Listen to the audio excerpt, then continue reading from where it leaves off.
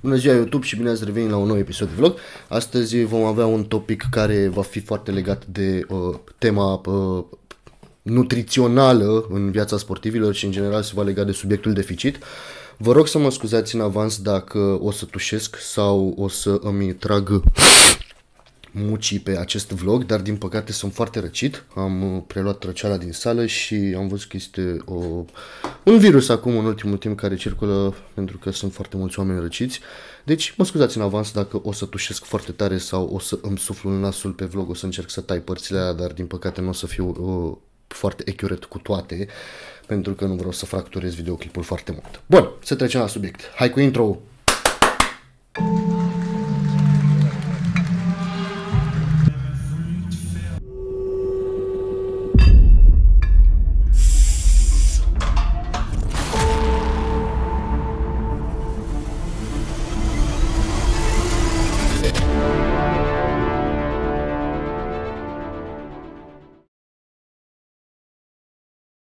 Tema de astăzi este una super simplă, uh, pe care m-ați rugat de mai multe ori să o prezint și despre care să-mi spun opinia și, mă rog, să vorbesc despre ea în mare parte și uh, aceea este rifidul sau rifidurile. Da? Ce sunt rifidurile și cum funcționează rifidurile? Ca să înțelegem ce sunt rifidurile, într-o definiție foarte simplă, rifidurile înseamnă a remânca, tradus mot din engleză în română. A remânca adică a te reîncărca cu mâncare, toate astea fiind puse în contextul unui deficit.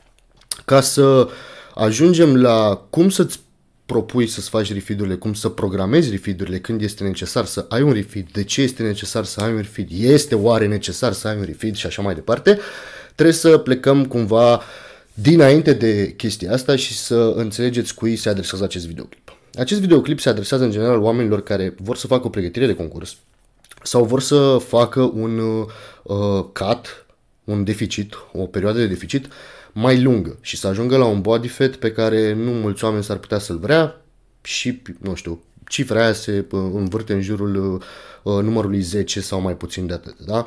Deci, în general, pentru majoritatea oamenilor, pentru 90% dintre oameni, va fi foarte ușor să ajungă la un 15% body fat, să zicem. 15% body fat fiind un beach body extrem de bine acceptat, cam din toate punctele de vedere, asta având în vedere că s-ar putea să ai și niște masă corporală. Noi acum suntem destul de biased în ceea ce privește body fat-ul și foarte mulți dintre noi nu-l apreciem bine sau nu-l apreciem absolut deloc. Tindem să credem că avem mult mai puțin sau mult mai mult decât avem în realitate. Uh, din păcate, nici DEXA scanurile nu ne ajută foarte mult, ne fiind extrem de accurate, uh, nici referințele din social media sau din, uh, nu știu, ale specialiștilor, oamenilor pe care îi vedem noi și credem că Uh, uh, avem încredere în ceea ce zic ei, de exemplu Ronnie Coleman care a zis că are minus 0,33% body fat sau alți oameni care claimuiesc că au un anumit body fat și nu l-au. Deci uh, asta cu body fat este un termen foarte general. În special clipul ăsta se adresează oamenilor care vor să facă un deficit lung, vor să ajungă într-o formă de concurs sau foarte aproape de o zonă de o formă de concurs, dar fără să concureze și în special se adresează oamenilor care vor să-și facă un, uh, un deficit foarte bine structurat și foarte bine pus la punct. Da? Bun.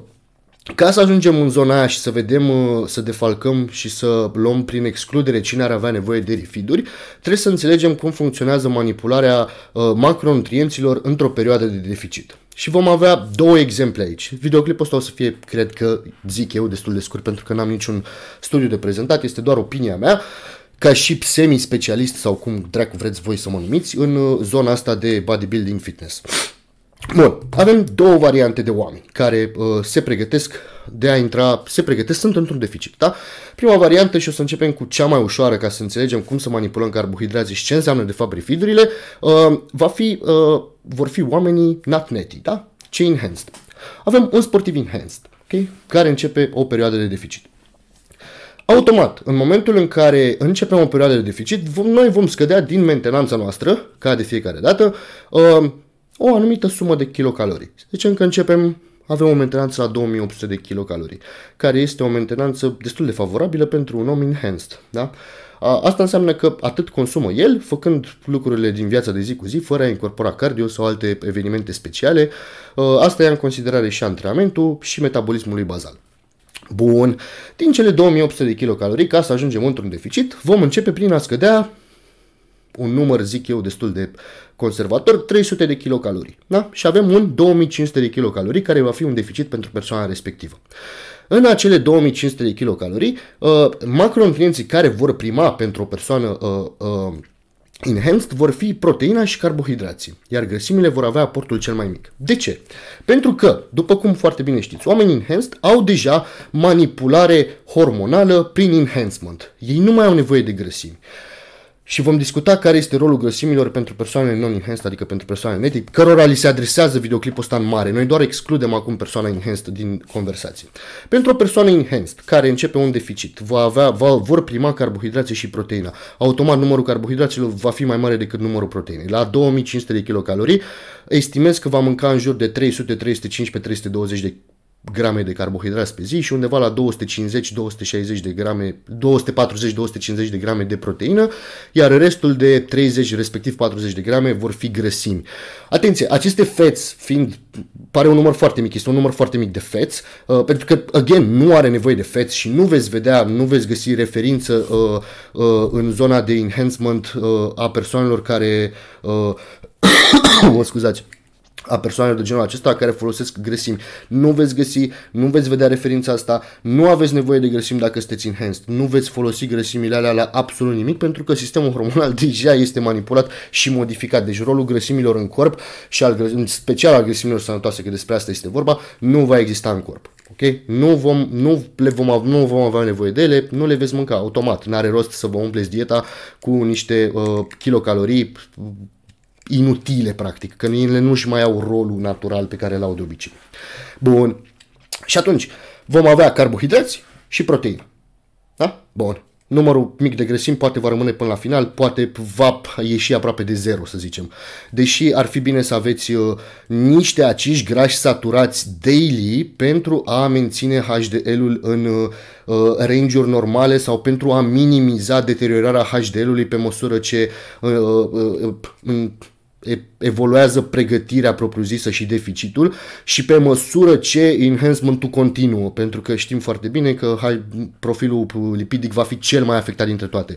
Atât bine, profilul lipidic și profilul renal, dar aia este o altă poveste. Bun, avem carbohidrați și proteine și cu ăștia trebuie să ne jucăm în deficit. 2500 de kilocalorii, care am spus că va fi deficitul inițial plecat din mentenanță, este din nou o uh, ipoteză ipotetică, este doar o ipoteză, pardon. Uh, noi vom continua să scădem, pentru că cu cele 2500 noi vom ajunge într-un punct, da? dar nu va fi dat jos tot body fat-ul. Noi nu vom începe cu un număr de kilocalorii uh, un deficit și îl vom termina tot cu același număr de kilocalorii. Kilocaloriile respective vor scădea. De ce? Pentru că cu anumite kilocalorii corpul ajunge la o anumită mentenanță. Atenție, mentenanța de care vorbim noi în genere este uh, foarte, foarte subiectivă. De ce? Pentru că eu spun că sunt în mentenanță la o, anumit, la o, un anumit, la o anumită greutate. Noi când vorbim de mentenanță ne referim la greutate, iar mentenanța dată de greutate va fi vorbită în kilocalorii, da? Sau în macronutrienți, depinde cum vrea fiecare, dar vă recomand kilocalorii ca să fie ușor de ajustat. Eu cu alea 2500, plecând de la 2800, am scăzut la 2500. Cu 2500 voi scade un număr de kilograme da? de masă corporală, cel mai probabil țesut adipos și uh, apă plus glicogen și voi ajunge la o nouă greutate. Cu alea 2500 eu, voi, eu mă voi menține la greutatea respectivă, dar nu voi mai scădea și atunci trebuie să scadă din nou din kilocalorii. Iar scăderile de aici vor deveni din ce în ce mai puțin drastice. Prima scădere va fi cea mai drastică, alea 300 de kilocalorii sau 400 de kilocalorii sau 500 cât vreți voi să scădeți inițial, plecând de la mentenanță, vor fi cele mai mari scăderi. Ulterior, următorile scăderi vor fi din ce în ce mai mici pentru a prezerva energia corporală, pentru a vă simți în continuare oameni, ok? Mă scuzați că îmi trag mucii. Așa. Și suntem la 2500, am scăzut cât s-a putut, am ajuns într-un punct în care tot nu sunt mulțumit, așa că voi continua să scad. Și scad 200 de kilocalorii sau poate 150 de kilocalorii. Dar să zicem 200 ca să lucrăm cu cifre rotunde. Și voi ajunge la 2300 de kilocalorii. Din ce am scăzut? Automat nu din proteină automat, nu din grăsimi, că ele deja sunt low, cum am stabilit, automat am scăzut din carbohidrați. Deci carbohidratul este principalul macronutrient care va fi manipulat în această uh, scădere pe care eu o voi face pentru a-mi atinge scopul în deficit. Da? am ajuns la 2300. Cu 2300 mă pot menține acolo cât îmi permite corpul și energie expendicerul pe care eu îl am în momentul curent. Volumul antrenamentului, mersul pe jos, toate activitățile daily care se întâmplă, etc., etc., etc. După care voi ajunge din nou la o plafonare. Ulterior, ca eu să ajung în punctul în care mi-l doresc, va trebui să scad în continuare. Acum, din nou, este ipotetic. Nu înseamnă că nu puteți să ajungeți într-o formă bună cu 2300 de kilocalorii sau cu 2000 de kilocalorii, da? Dar, pentru majoritatea oamenilor, pentru a ajunge într-o formă de concurs, 2300 de kilocalorii nu este suficient. Și aici o să încerc să mă dezic de la persoana uh, enhancement, pentru, uh, enhanced, pentru că de ea vreau să scap în primul și în primul rând. Deci, sportivul enhanced va manipula întotdeauna carbohidrații și în ultima instanță va manipula proteina și va scăpa de restul grăsimilor care sunt oricum într-un număr foarte, foarte mic. Să zicem că din restul de grăsimi, dacă am 30 de grame pe zi, ori 8 ori 9, 3 ori 9, 27, mai uh, scad 270 de kilocalorii, deși mm, n-ar fi, n-aș recomanda nimănui să scadă sub 20 de grame de grăsimi pe zi, indiferent cât de enhanced este el. Pentru că, din nou, profilul lipidic. Uh, deci, Sportivul enhanced va manipula întotdeauna și întotdeauna carbohidrații, în ultimă instanță proteina, iar la nevoie va scăpa de restul grăsimilor, in my opinion. Bun, dăm la o parte sportivul enhanced.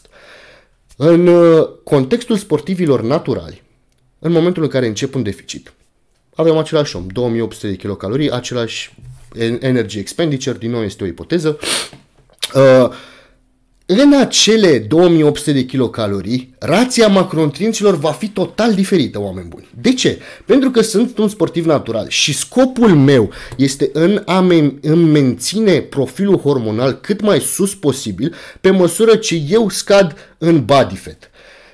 Unul la mână, în momentul în care există un low body fat, corpul tău are low body fat, uh, profilul hormonal va scădea drastic.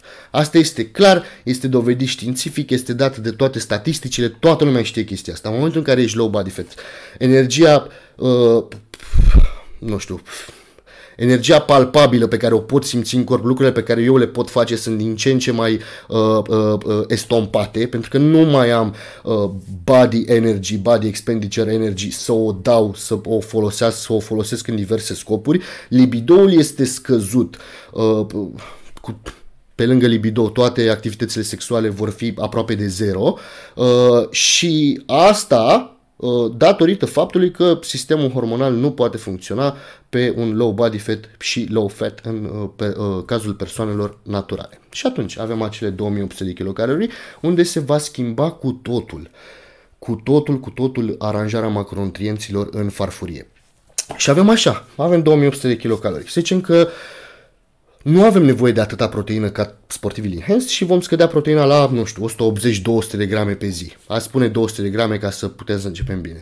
200 de grame pe zi. Atenție, eu când vorbesc de proteină, vorbesc de proteina totală. Da? Având în vedere că nu vorbesc pentru persoane, uh, nu știu, uh, vegane sau lacto-vegetariene, noi calculăm proteina totală. Adică eu la o masă, dacă mănânc mazăre și la masa aia am și pui și orez, uh, aminoacizii din, din orez cu aminoacizii din pui cu aminoacizii din mazăre vor, fi, vor crea un profil aminoacidic total, adică eu voi folosi și aminoacizia din orez, ea nu se duc pe apa sâmbătă, ea nu se duc dracu, ea rămân acolo și își fac rolul de proteină în corp, da? Deci țineți bine minte chestia asta, în momentul în care vi le calculați și vă arată mai fitness pal, calculați-vă tot, Indiferent că sunteți enhanced sau că sunteți neti, toate alea se iau în considerare. Eu în momentul în care mănânc o masă și la o văzul ăla am 8 grame de proteină și pe lângă aia mai am 40 de grame de whey care mai sunt 30 de grame de proteină, am de fapt 38 de grame de proteină. No fucking joke. Alea 8 grame de proteină în ovăz nu se duc dracu, nu trec așa prin tubul digestiv și zic, ei, salut, noi am fost pe aici și plecăm. Nu! Nu, clar nu. Alea sunt folosite ca și aminoacizi compleți. De ce? Pentru că eu mănânc, le mănânc pe toate înglobat eu când mănânc, nu beau shake-ul după, se digeră ovozul prima oară și după aia beau shake-ul. Da? Nu, le mănânc pe toate împreună și automat toți aminoacizii aia formează un cu profil complet. Oricum este un profil complet, dar voi avea din fiecare aminoacid esențial un număr cât de mare este posibil ca să se poată pro- produce sinteza proteică. Bun, am divagat puțin de la, de la de la ce am zis. Deci avem un număr de proteină destul de mare, 200 de grame de proteină, nu destul de mare, decent, da?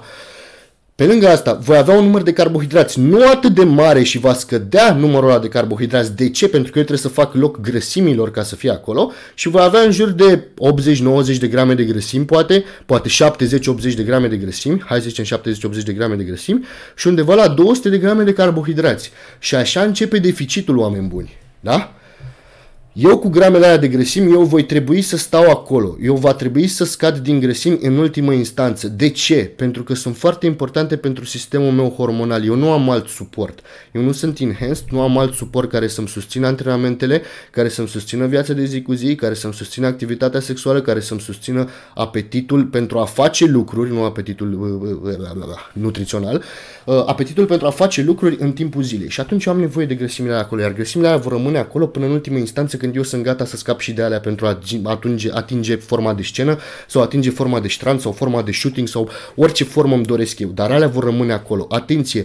Nu vă jucați foarte mult cu grăsimile la început, jucați-vă foarte mult cu grăsimile pe ultima parte a deficitului, pentru că este important să le țineți cât mai mult timp în dietă, ca ele să vă susțină sistemul hormonal, iar sistemul hormonal să vă susțină pe voi înapoi, ca voi să puteți să depuneți cât mai mult efort, să nu vă scadă, uh, mă scuzați, nu vă scadă greutățile cu care lucrați în sală, să nu vă scadă uh, uh, pofta de a, nu știu, vă face cardio, să nu aveți, să nu vă scadă pofta de a face dragoste și așa mai departe, dulce dragoste, cum se spune.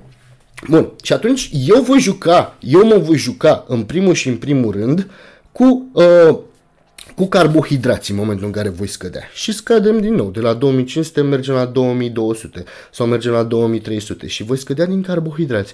Acele 200 de kilocalorii vor fi scăzute din carbohidrați în primă instanță. După care, singurul și cel mai important lucru la fel, pentru o persoană naturală, este de a păstra proteina acolo. Proteina aia nu se modifică.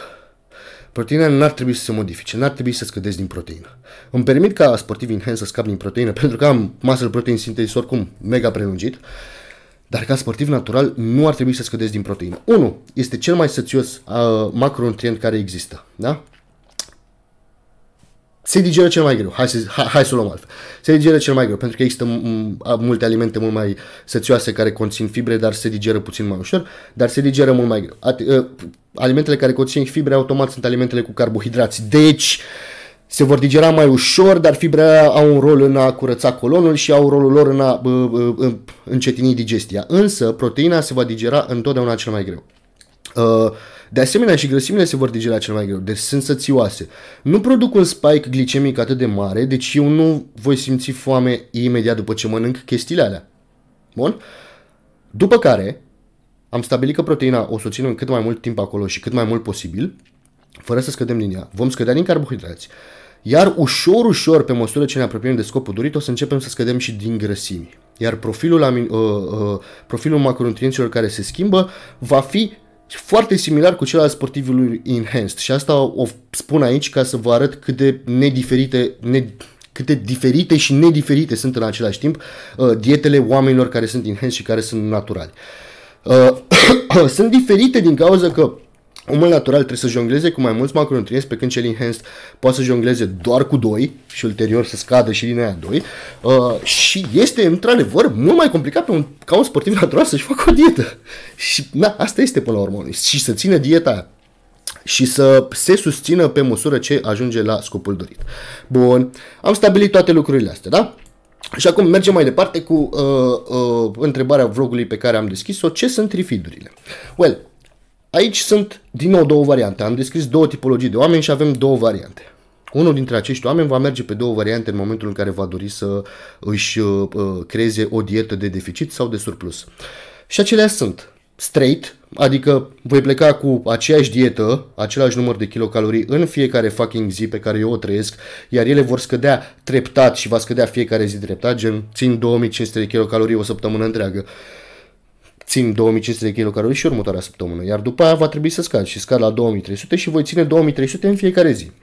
Uh, iar cea de-a doua tipologie de oameni este cei care vor face carb cycling. Și aici, când, se, când fac carb cycling, adică ciclizarea carbohidraților, vor avea diferite, un număr diferit de kilocalorii în fiecare zi pe care eu o aleg. Pentru că carb cycling-ul este puțin mai detaliat, adică nu este mai complicat deloc, dar este puțin mai detaliat și atunci se vor schimba aporturile energetice pe fiecare zi. Nu voi mânca 2300 kilocalorii în fiecare zi. Poate voi mânca mai, mai puțin de 2300 în unele zile și voi avea mai mult de 2300 în alte zile. Dar Carb Cycling este un video absolut uh, uh, separat de lucrul ăsta pentru că noi aici vom vorbi de refiduri. Iar refidurile se vor folosi în mare parte, în 90% din cazuri, doar în cazul oamenilor care aleg o dietă straight. De ce? Păi haideți să vă zic de ce. La un moment dat veți atinge o plafonare anume. Să zicem că v-ați plafona la 2000 de kilocalorii și va trebui să scădeți. Și o să trebuiască să tot scădeți, să tot scădeți, să tot, să tot scădeți. Ce se întâmplă cu corpul nostru în momentul în care noi suntem low calorie, uh, low carb, probabil și low fat să zicem, e, scade metabolismul. Foarte ciudat, dar așa este, scade metabolismul. Oamenii obezi de, uh, de obicei uh, nu oamenii obezi, oamenii grăsuți care ajung în zona de supraponderal nu au uh, metabolism scăzut. Din contră. Adică cine vă vinde căcaturi de alea cu haize să bem niște suc de lămâie ca să mărim metabolismul, uh, rata metabolică, vă minte, pentru că în general oamenii care sunt uh, uh, au mai mult body fat nu au metabolism deloc scăzut. Au un metabolism probabil normal vor ajunge într-adevăr să aibă un metabolism scăzut în momentul în care masa, masa uh, uh, adipoasă este extrem de mare și avem cazurile de 300 pounds people pe TLC, da? Dar nu ajungem acolo. Noi când suntem într-un deficit foarte mare pentru foarte mult timp, metabolismul scade. De ce? Că se conservă. Nu are de unde să mai scoată energie, nu are ce să ardă în plus, nu are cum să, n-ai cum să o mai scoți, n-ai cum să scoți energie din nimic. Dacă eu am nimic, eu sunt subcaloric, eu sunt subnutrit în momentul respectiv, nu am de unde să scot energie în plus și atunci metabolismul scade. De ce? Haideți să vă explic cum funcționează. Eu nu mai pot să fac aceleași lucruri pe care le făceam înainte. Aveam 94 de kilograme și puteam să merg 20 de kilometri în fiecare zi și să fac 3 ore de cardio plus încă o oră de antrenament. În momentul de față, la 80 de kilograme după ce am slăbit 14, eu nu mai pot face același lucru, pentru că nu mai am masa corporală care să-mi permită energy expenditure de aceeași fel. Este extrem de simplu, este o lege a fizicii. Așa funcționează. Nu veți avea niciodată un metabolism accelerat în momentul în care sunteți într-un deficit foarte mare și sub 10% body fat. Din contră, veți avea un metabolism încet. Iar aici apar refidurile. Am vorbit, uh, am văzut foarte multe variante a, ale oamenilor care folosesc cuvântul refeed ca să definească un cheat day. Am văzut oameni care mănâncă burgeri, am văzut oameni care mănâncă gogoși, am văzut oameni care mănâncă pizza, am văzut oameni care mănâncă, nu știu, o grămadă de tone de grăsimi și numesc uh, lucrurile respective refeed. Refeed day, refeed meal, refeed week, etc., etc.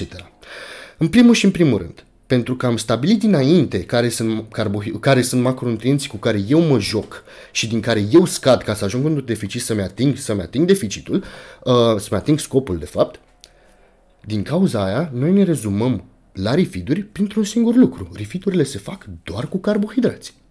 Noi, în momentul în care vrem să facem un refit și să mâncăm mai mult, este pentru a accelera cu foarte mari ghilimele de rigoare, pentru a readuce corpul într-o stare metabolică în care se simte bine de unde are niște energie în plus de tipul glicogenului pe care o poate arde ca eu să pot să-mi susțin deficitul în continuare. Înțelegeți? Rifidurile se fac în niște momente în care corpul este depleted de carbohidrați. Nu complet, pentru că nu pot fi niciodată deplit completely de carbohidrați, nu, pot, nu, pot fi, nu pot fi lipsit de glicogen în tot corpul. Va rămâne ceva glicogen în ficat, da? Va rămâne ceva glicogen în măști, într-adevăr, foarte puțin, dar va rămâne. Nu pot să fiu, nu cred că pot fi vreodată și să nu ajung la spital să fiu depleted complet. Da? Și atunci eu am nevoie de o recompletare a glicogenului, iar glicogenul respectiv este adus în față doar de către carbohidrați. Da? Nu de către grăsimi, nu de către proteină. Și atunci refidurile vor fi niște mese sau niște zile în care eu voi mânca o cantitate mai mare de carbohidrați. Refidurile sunt practic uh, ciclizarea oamenilor care merg straight. Da? ajung să zicem doar că vor fi făcute și planificate în funcție de feeling. Refidurile nu pot fi planificate dinainte cum este carb cycling-ul. La carb cycling să zicem că eu am două zile de high urmate de două zile de low sau două zi de low. Da? Și asta va fi în fiecare zi. Asta fac consecutiv, consecutiv. Și eu știu că săptămâna viitoare voi face același lucru sau știu că săptămâna viitoare voi mai scădea o zi de high. etc., etc. Este planificat carb cycling-ul. Refidurile nu sunt planificate, refidurile sunt simțite. De ce? Pentru că voi știți foarte bine în momentul în care vă apucați de un deficit să vă ascultați și corpul. Iar dacă nu știți, vă explic eu acum. În momentul în care vă simțiți extrem de lipsiți de energie, în momentul în care vă simțiți uh, prăjiți, asta poate fi și din cauza overtrainingului, dar nonetheless o să trebuiască să vă creșteți și mâncarea.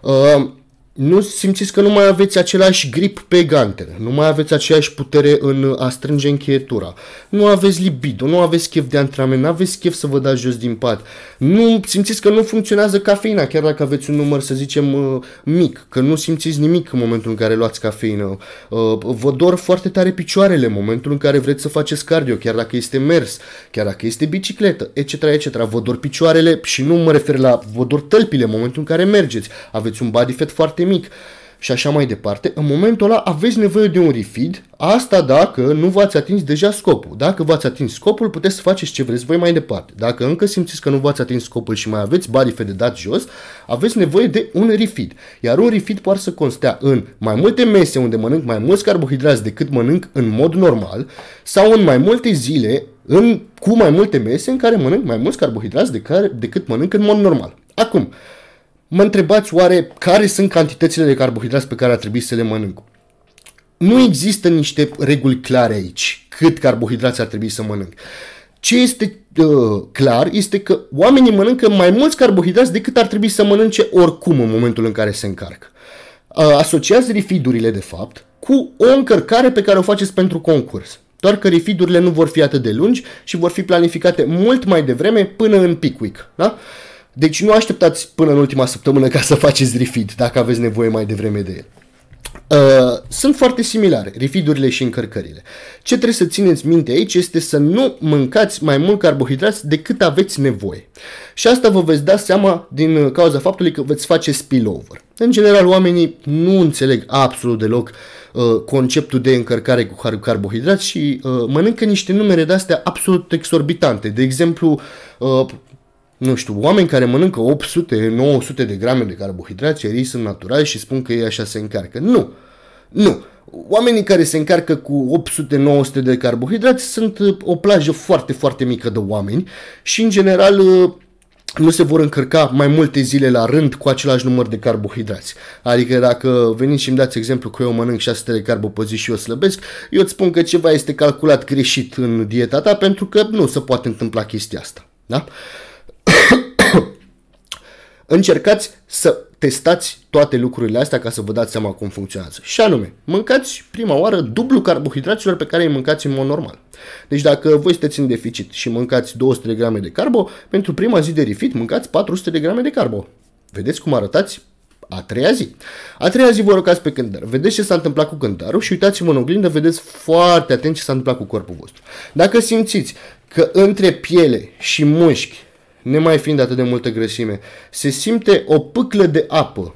Simțiți că sunteți puțin acoperiți, puțin apoși. Înseamnă că ați mâncat mai mult carbohidrați decât aveați nevoie ca să vă faceți replenishmentul de glicogen, adică să vă restocați rezervele de glicogen. Și rezervele de glicogen sunt limitate la fiecare om. De ce? Rezervele de glicogen sunt limitate în primul rând de capacitatea ficatului de a stoca glicogen și de câți mușchi aveți. Dacă voi aveți 60 până în 70 de kilograme într-o formă cu low body fat, voi nu veți putea stoca glicogen în valoare de 700-800 de carbohidrați. Pentru că este prea mult. Și atunci carbohidrații ăia vor da pe afară. Iar acest dat pe afară se numește spillover în engleză și în termenii bodybuilding-ului. Adică I spilled over, am vărsat pe afară, am mâncat mai mult decât era necesar pentru corpul meu. Ce se întâmplă cu carbohidrația pe care eu i-am mâncat mai mult necesar decât avea mai mulți decât aveam eu nevoie? Nu se vor transforma în masă musculară, evident. Vor rămâne sub, la nivelul pielii sub formă de apă subcutanată, inflamație cu ghilimele de rigoare, că nu este chiar o inflamație. Iar restul se vor transforma în body fat. Am mâncat cu 400 de grame mai mult decât ar fi trebuit, alea 400 de grame se vor transforma în body fat și vor fi 400 de grame pe care eu ulterior va trebui să le dau jos. Diferența este încă că însă că după acest refeed, chiar dacă ați dat în spillover, alea 400 de grame de carbohidrați vor fi mai ușor de dat jos decât au fost înainte. De ce? Pentru că acum am energie corporală pe care eu o pot sacrifica din nou în sală, la cardio, în dietă. Am din nou ce să consum. Este pe corpul meu. Simt din nou că am energie. După cum bine știți, energia este uh, conturizată în calorii. Da? mă scuzați din nou. Iar eu am acum din nou energie pe care o pot da. A treia zi, vă încărcați, dacă 400 de grame au fost suficiente și n-ați făcut spillover, nu ați dat pe afară, nu v-a urcat cântarul foarte mult sus, atenție, este important să vă crească cântarul. Este foarte important să vă crească cântarul, că ăsta este un semn că voi ați stocat glicogen. Dacă cântarul vostru arată tot la fel sau este uh, foarte, este mai mic, este un semn că voi Uh, în momentul în care v-ați stabilit dieta inițial, mâncați mult subcaloric față de ce ar trebui să mâncați. Iar ăsta este un semn că trebuie să vă creșteți din nou caloriile. Ce este important ca cântarul să crească cu puțin, poate nu știu, un kilogram, habar n-am în funcție și de câte apă ați băut, mă scuzați, dar este important să crească, că ăsta este un semn că voi aveți glicogenul la stocat. După care puteți continua și a doua zi și a treia zi dacă aveți nevoie și puteți crește carbohidrații acum din aproape în aproape. Dacă am mâncat 400, următorul pas va fi să mănânc 450. După două zile în care am mâncat 400, respectiv 450, replenishmentul de carbohidrați sigur se va întâmpla în corp. N-are cum să nu se întâmple, decât dacă faceți 5 ore de cardio pe zi. Uh, dar sigur va fi replenish, replenishuit ca, uh, uh, glicogenul înapoi unde trebuie, adică în ficat și în mușchi iar voi aveți din nou energy expenditure pe care îl puteți consuma. Și puteți face chestiile astea în mod regulat în momentul în care simțiți că voi sunteți lipsiți de energie, care simțiți că v-ați consumat aproape tot glicogenul din corp, că nu mai aveți de unde să dați energie, nu mai aveți de unde să dați randament la antrenament, la cardio, la lucrurile din viața de zi cu zi pe care le faceți și este un mod bun de a vă repune pe o cale de unde aveți din nou ce să scădeți ce să consumați. Aveți din nou energie corporală pe care o puteți consuma. Și asta este uh, refidul într-o manieră extrem de uh, rezumată, ca să spun așa. Pardon. Acum, uh, atenție, refidurile se bazează pe carbohidrați și poate pe o mică, mică, mică parte, asta în momentul în care sunteți deprivați de grăsimi, de grăsime. Da? Dar 90% din mâncarea pe care o veți mânca atunci, în momentul în care veți face refeed, vor fi carbohidrați, iar restul de 10% să zicem doar dacă aveți nevoie vor fi grăsimi. Niciodată o pizza nu va fi un refeed, niciodată o gogoașă nu va fi un refeed, niciodată o un burger nu va fi un refeed, niciodată sushi nu va fi un refeed, da? Toate astea vor fi trecute sub egida unui cheat meal în niciun caz a unui refeed, pentru că nu sunt refeeduri, nu sunt mâncăruri pe care le puteți mânca sub formă de refeed. A, am mâncat 100 de grame de orez în plus, da, este refeed. Am mâncat 200 de grame de cartofi în plus, este refeed. 200 de grame de pâine, refeed. 200 de grame de mere, 400 de grame de mere, 500 de grame de mere, refeed. Banane, afine, uh, fructe congelate, fructe de orice fel. Am mâncat pepene, este fucking refeed, da? Am, uh, ce dracu, ce mai există? Am mâncat ovăz, am mâncat cremă de orez, am mâncat cremă de ovăz, am mâncat orice este carbohidrat și orice este carbohidrat care face parte din dieta voastră fără să fie scos out of plan sau out of context. Uite, de exemplu, ați mâncat turtă dulce care este 95% carbohidrat și are zahăr. Acela este un refeed, oameni buni. Da? Acela poate fi considerat și refeed și cheat în același timp. Însă o pizza, a, conținând pana mea, o grămadă de... O pizza ajunge și la 3000 de kilocalorii, dacă vă vine să credeți. O pizza mare de la Jerry's cu brânză, 4 formaggi, are 3200 de kilocalorii. Oameni buni, 3200 de kilocalorii este, uh, nu știu, un off-season cinstit pentru, pentru mine. 3200 de kilocalorii pot să mănânc când încep off-season-ul liniștit în fiecare zi. Și acelea se regăsesc doar într-o singură masă. Da? Deci, nu mai numiți alimentele care sunt de regnul grăsimilor și proteinelor ca fiind alimente de refeed. Deci, în concluzie, încercați să vă contorizați lucrurile pe care le faceți, să vă contorizați uh, macronutrienții pe care îi aveți, să puteți să folosiți acest uh, videoclip ca un guideline în momentul în care vă delimitați dieta, vă planificați uh, carb cycling-ul sau uh, mersul straight și scăzutul de calorii într-un mod uh, util și plăcut și care este și sustenabil și pe care vă, care vă ajută să vă atingeți scopul dorit. Și folosiți refeed ca ceea ce sunt, adică mâncatul în cantități mai mari de carbohidrați pentru a face un replenishment, adică o re... Uh, replenishment. Mamă, de ce? O să mă înjure iar lumea că vorbesc în engleză, dar așa le, le-am, le-am învățat în engleză. Nu pot să le dau sinonimul în română dacă nu îl găsesc în momentul de față. Uh, reîncărcarea cu carbohidrați a corpului. Ok? Rifidurile sunt doar reîncărcarea cu carbohidrați și foarte, foarte, foarte, foarte puține grăsimi a corpului. Folosiți rifidul ca un lucru care este, nu ca pe un lucru inventat de alții pe care l-ați văzut la alți oameni. Rifidurile se bazează doar pe încărcarea cu carbohidrați și foarte puține grăsimi pentru a încetini absorpția și, mă rog, a încetini absorpția meselor în general, că nu vreți să aveți trigger food, să mâncați mult mai mult decât v-ați propus. Da? Cam asta a fost videoclipul. Uh, mă bucur că am reușit să vorbesc fără să întrerup de foarte multe ori camera. Uh, sper că nu v-am plictisit foarte tare. Dacă aveți comentarii, alte lucruri pe care vreți să le spuneți, nu știu, uh, experiențele voastre și așa mai departe, le aștept în comentarii mai jos.